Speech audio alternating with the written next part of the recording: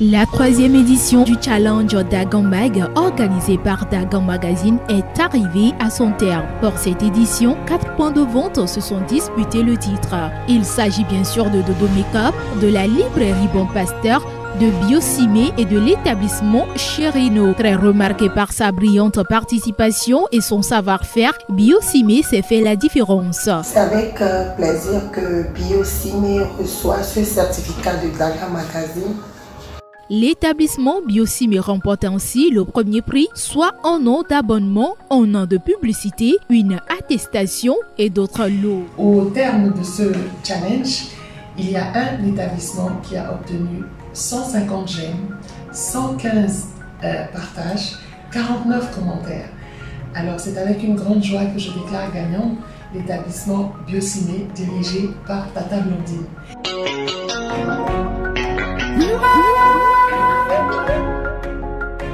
L'idée du concours Dagambag est l'œuvre de Nicolas Sage, jeune ambassadeur de Dagam Magazine auprès de la jeunesse.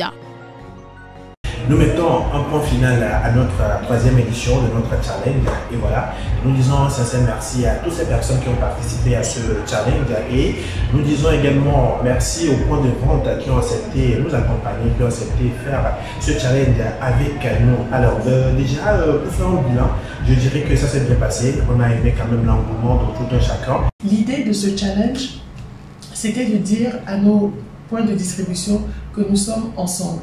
Nous sommes ensemble pour Dagon Magazine.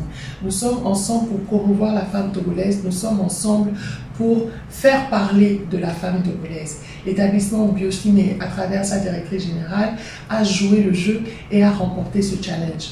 En retour, Dagon Magazine va lui offrir une visibilité dans les prochains numéros de Dagon Magazine jusqu'au prochain challenge, elle aura droit à une insertion d'une publicité de l'établissement Biosimé à l'intérieur de Dagon Magazine. Tout ça pour promouvoir en retour son activité parce que à travers elle, nous arrivons également à promouvoir Dagon Magazine.